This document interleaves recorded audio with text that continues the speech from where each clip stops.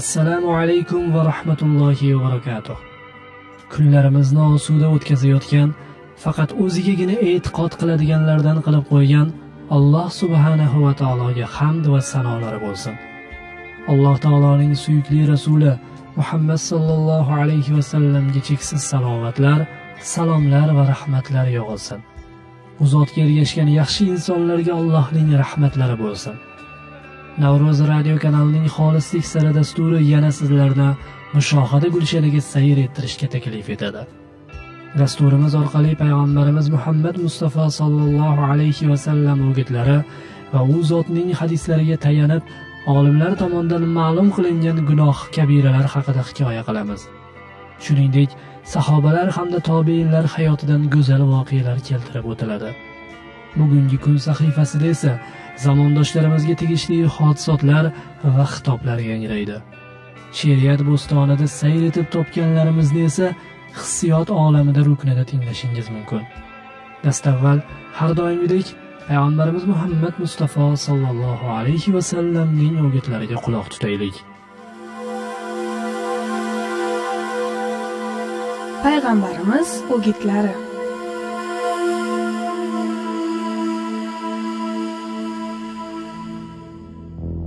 Uchinchi gunohi kabira kibr manmanlik va g'ururdir.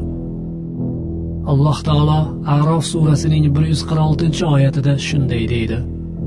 Men yerda nohaq kibru havo qilib yuradigan agar barcha oyat mo'jizalarni ko'rsalar ham ularga iymon keltirmaydigan to'g'ri yo'lni ko'rsalar uni o'zlari uchun yo'l qilib olmaydigan agar zalolat noto'g'ri yo'lni ko'rsalar uni yo'l qilib oladigan kimsalarni o'z oyat mo'jizalarimdan burib yuborurman.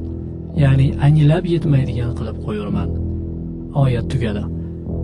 Alloh taolo bu bilan takabbur kimsalarni oyatlarimni fahmlash u haqda fikr yuritib tadabbur qilishdan mahrum qilaman va kibru havo qilganlariga jazo sifatida qalblarini muhrlab qo'yaman demoqda.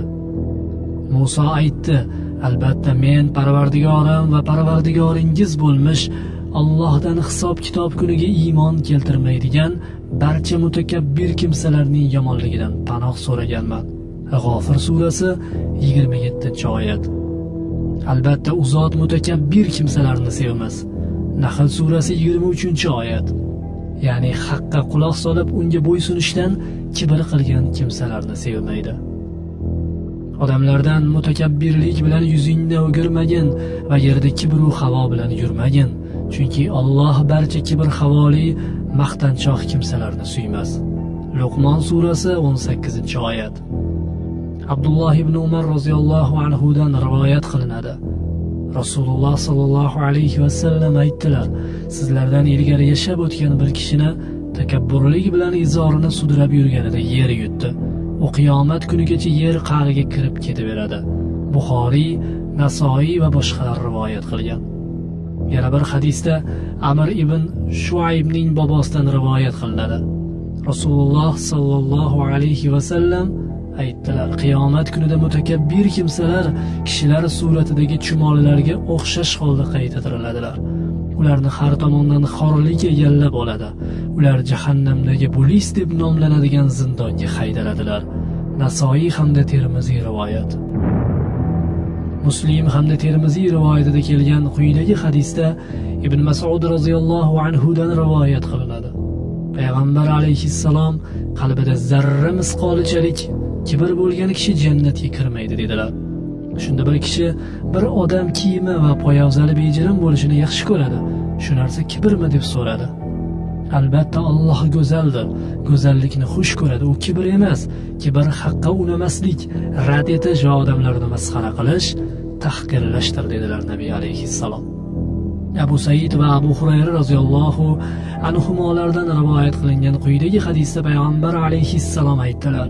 Alloh azza va jalla azizlik izorim kibriyo ridoyimdir kim bu ikkisini men bilan talashsa uni azoblayman deydi muslim rivoyati. Abu said hudriy roziyallohu anhudan rivoyat qilinadi. Payg'ambar sollallohu alayhi vasallam aytdilar jannat bilan do'zax talashib qolishdi. Do'zax zo'ravon va mutakabbir kimsalar menda degan edi. Jannat zaif va miskin musulmonlar menda dedi. Alloh ular orasida ajrim qildi. Jannat sen mening rahmatimsan. Sen orqali xohlagan bandalarimga rahm qilaman.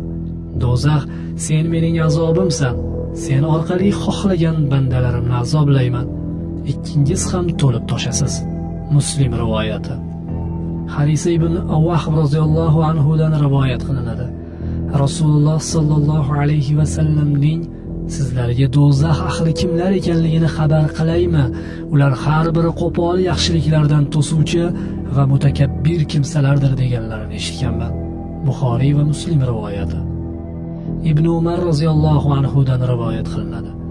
Rasululloh sollallohu alayhi vasallamning kimki o'zini boshqalardan afzal deb bilsa yoki kibr havo bilan yursa alloh taborak va taoloni g'azablangan holda uchratadi deganlarini eshitdim. Tabaroniy rivoyati. Abu hurayra roziyallohu anhudan rivoyat qilinadi. Rasululloh sollallohu alayhi vasallam aytdilar menga do'zaxga birinchi bo'lib kiradigan uch toifa ko'rsatildi. Zolim amir molidagi olloh haqini ado qilmaydigan boy va mutakabbir kambag'al. Ibn huzayma va ibn hibbon rivoyati. Buxoriy tomonidan rivoyat qilingan quyidagi hadisda ibn umar roziyallohu anhu aytadi. Payg'ambar sollallohu alayhi vasallam aytdilar kimda kim takabburlik qilib kiyimini sudrab yursa qiyomat kunida olloh unga qaramaydi. Salama ibn akva roziyallohu anhudan bir kishi rasululloh sollallohu alayhi vasallamning huzurlarida chap qo'li bilan taom yedi. O'ng qo'lingda ye degandilar yeyolmayman dedi. Yeyolmading dedilar uni o'ng qo'lida yeyishdan faqat kibr to'sib turgandi. Shundan keyin o'ng qo'lini og'ziga olib borolmaydigan bo'lib qoldi. Muslim rivoyati. Ayrim salaf solihinlar aytganlarki allohga osiylik qilib sodir etilgan birinchi gunoh kibrdir.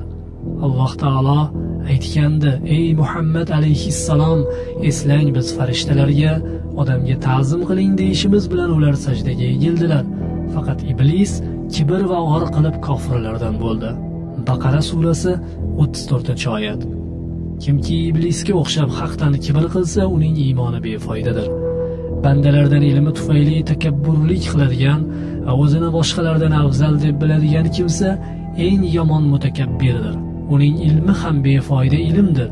Zero kimki oxirat uchun ilm talab qilsa ilmi uni bosiq tavozeli qilib qo'yadi. Qalbi xushuga to'ladi va nafsi xotirjam bo'ladi. Ilm uning nafsiga qo'riqchi posbon bo'lib oladi va yalqovlik qilmasdan har vaqt uni nazorat qilib hisob kitob qilib turadi. Bordiyu g'aflatda qolsa nafs haq yo'ldan bo'yin tovlaydi va halok etadi.